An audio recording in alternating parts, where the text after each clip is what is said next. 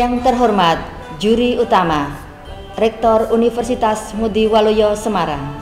Yang kami hormati para dewan juri Anugerah Sekolah Berbudaya Sehat Universitas Ngudi Waluyo Semarang. Pada kesempatan kali ini saya akan mempresentasikan best practice saya yang berjudul PJBL Konora Strategi Pelayanan Pendidikan di Masa Pandemi COVID-19 yang Berbudaya Sehat di SMA Negeri 14 Semarang. Latar belakang dari best practice ini adalah ketika tanggal 16 Maret 2020 sekolah mulai ditutup dari kegiatan belajar mengajar secara luring karena pandemi COVID-19. Selain itu, dalam pembelajaran, siswa cenderung lebih menyukai bimbingan langsung dari guru daripada berdiskusi kelompok antar teman. Kuota yang terbatas dan sinyal yang kadang-kadang kurang bersahabat membuat pembelajaran semakin kurang efektif.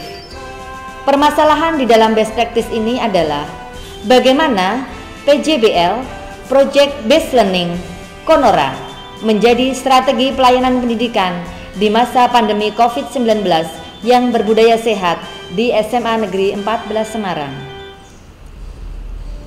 Strategi pemecahan masalah ada dua, yaitu dengan Project Based Learning dan dengan Konora, yaitu koordinasi, organisasi, nutrisi, optimis, responsif, dan aksi. Baiklah akan saya kupas satu persatu.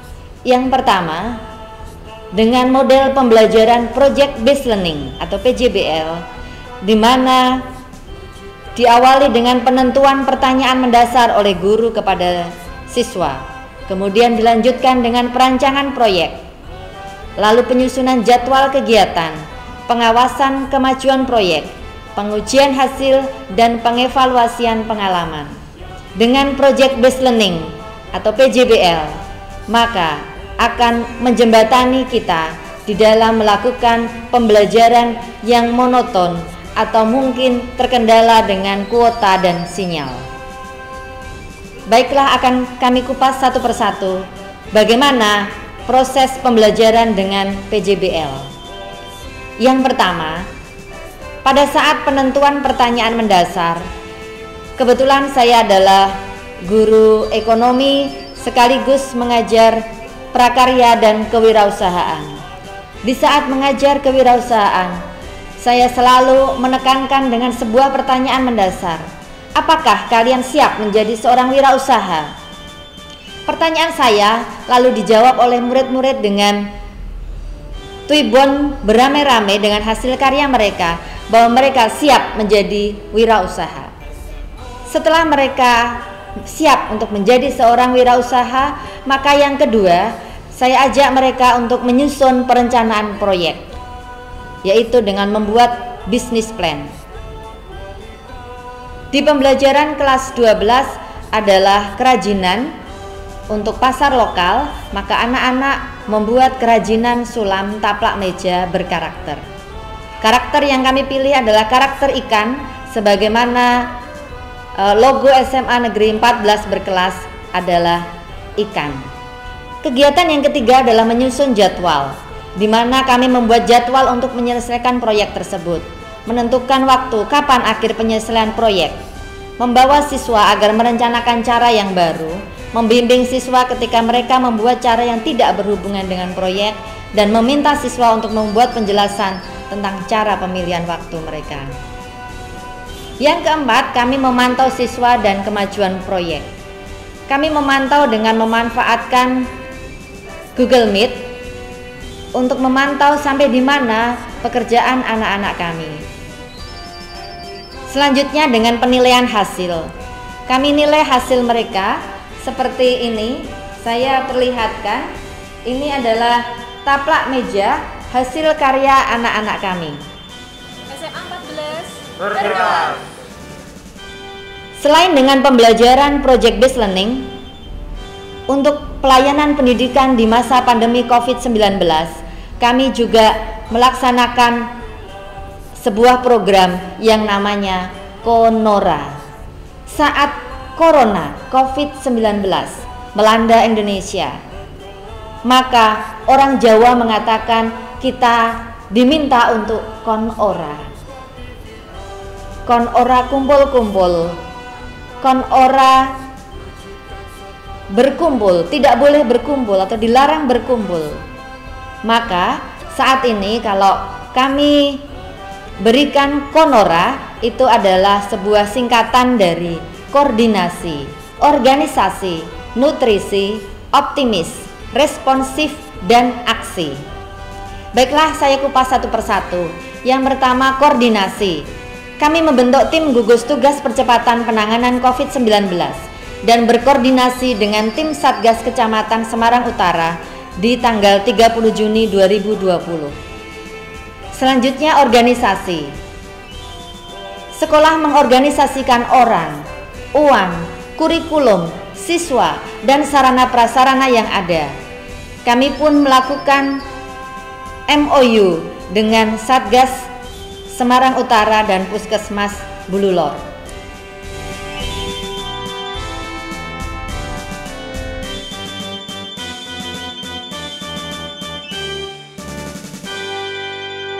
Selanjutnya nutrisi.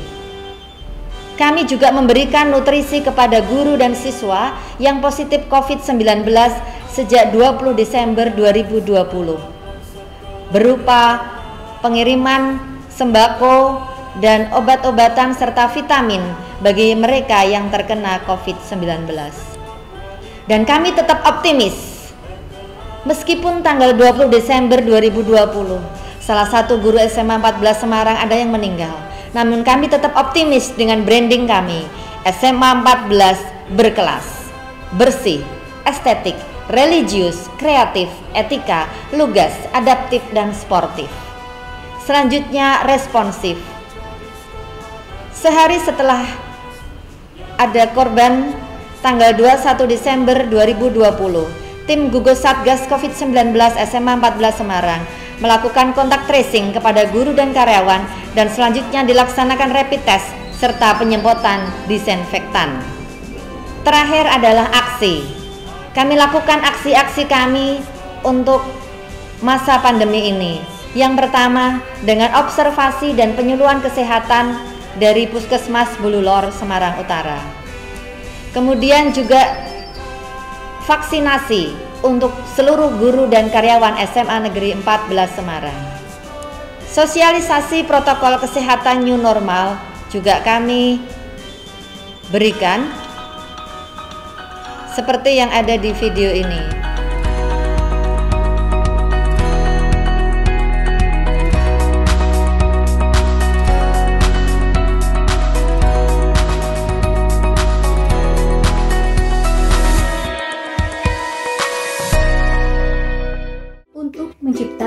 Suasana sekolah yang menyenangkan dan tetap taat protokol kesehatan, beberapa upaya telah dilakukan oleh SMA Negeri 14 Semarang, seperti berkonsultasi langsung dengan Satgas Penanganan COVID-19 dan meminta izin serta dukungan dari pihak puskesmas setempat.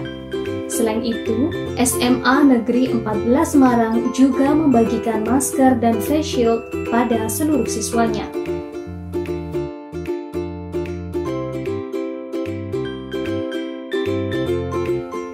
Protokol kesehatan bagi siswa SMA Negeri 14 Semarang sudah mulai diterapkan oleh siswa sejak masih di rumah masing-masing sebelum masuk ke sekolah. Di halaman depan sekolah, beberapa petugas telah siap dengan tugasnya masing-masing. Siswa yang berjalan kaki dicek suhu tubuhnya, sebelum kemudian diarahkan untuk mencuci tangan dengan sabun. Sementara siswa yang mengendarai sepeda motor diwajibkan berjalan satu persatu dan tetap menjaga jarak. SMA Negeri 14 Semarang menggunakan alat cuci tangan dengan sabun yang dapat dioperasikan menggunakan kaki sehingga tidak ada sentuhan tangan ketika membuka dan menutup keran air dan sabun. Setelah itu, siswa masuk ke bilik sterilisasi. Siswa memencet tombol di bilik sterilisasi dengan menggunakan siku untuk menghindari kontaminasi pada tangan mereka. Setelah itu, siswa baru diperkenankan masuk ke kelas masing-masing. Guru juga diwajibkan mematuhi protokol kesehatan yang telah ditentukan. Pelajaran dilakukan dengan tetap mematuhi protokol kesehatan, menjaga jarak antar siswa.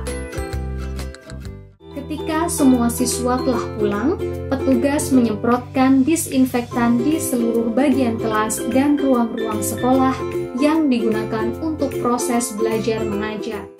Proses protokol kesehatan berlanjut ketika siswa sampai di rumah masing-masing.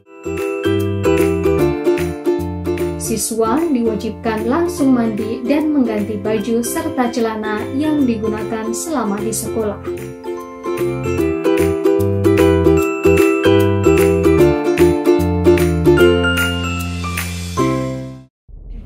Hasil pelaksanaan strategi Yang pertama, Siswa SMA Negeri 14 Semarang mendapatkan pembelajaran berbasis proyek secara kolaboratif dengan beberapa mata pelajaran. Seperti misalnya pelajaran PKWU atau Prakarya dan Kewirausahaan, kami pun berkolaborasi dengan guru BK dan PKN di dalam membangun karakter. Kami juga bisa melaksanakan kegiatan-kegiatan secara kolaboratif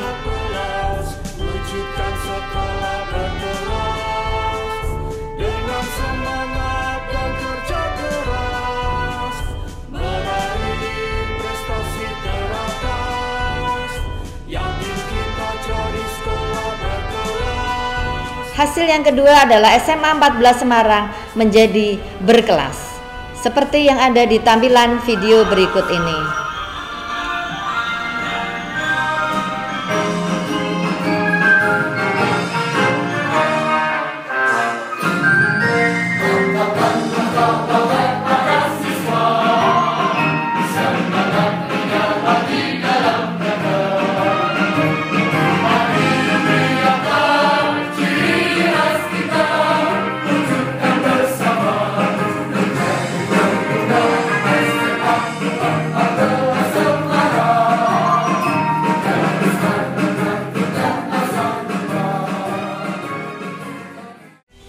Pelaksanaan strategi SMA Negeri 14 Semarang menjadi sehat, sejuk, dan ramah lingkungan.